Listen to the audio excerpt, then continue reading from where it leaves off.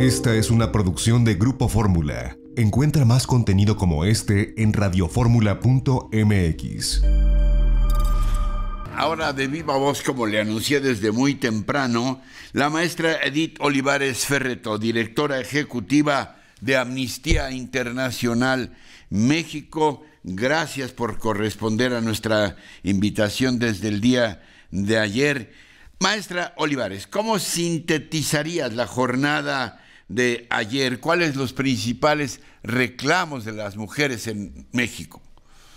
Bueno, eh, eh, ¿cómo está Ricardo? Buenos días, perdona la ronquera, pero sí estuvimos ayer muy muy entusiastas. Yo, eh, creo creo que habría que empezar, Ricardo, eh, y para toda tu audiencia, por decir que ayer fue una jornada eh, increíble de muchísima, muchísima gente en las calles.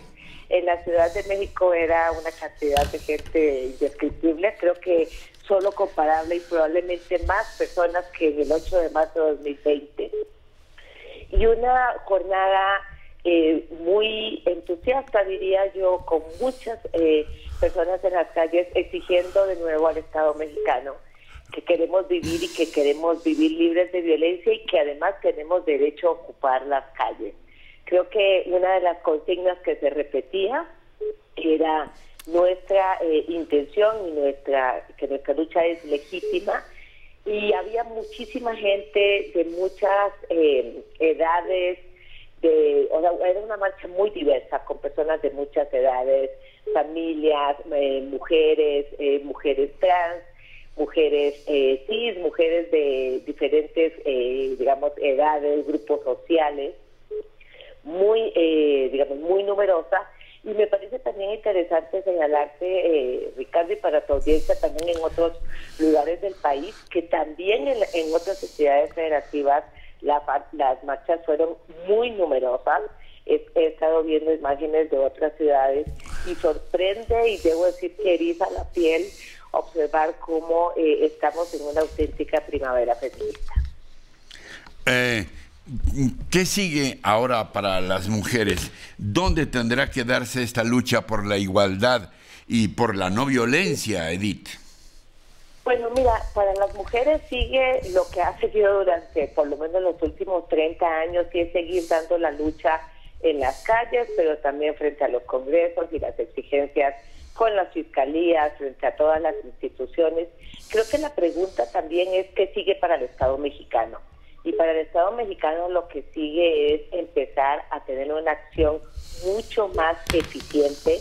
Necesitamos pasar de las palabras ya a los hechos, necesitamos pasar de las leyes y de las instituciones acciones mucho más eficaces.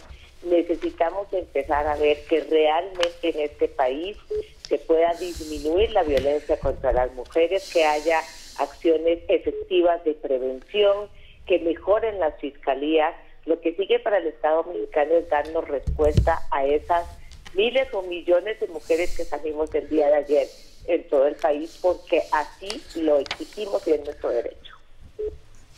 Bien, maestra, ¿algo más que quieras puntualizar que no te haya preguntado respecto a la jornada? De ayer y su significación?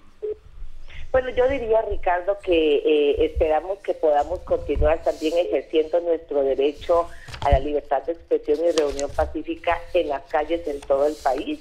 No tengo todavía los reportes de todas las ciudades, pero espero que no haya habido acciones de represión. Es nuestro derecho, nuestra causa es legítima.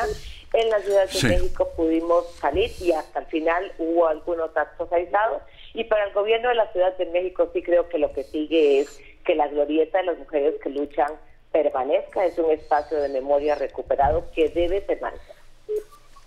Maestra Edith Olivares Ferreto, directora ejecutiva de Amnistía Internacional México, ya sabes que este espacio siempre estará abierto para ti, para Amnistía. Te agradezco mucho tu confianza y el que puedas estar con nosotros cuantas veces sea necesario, ¿vale?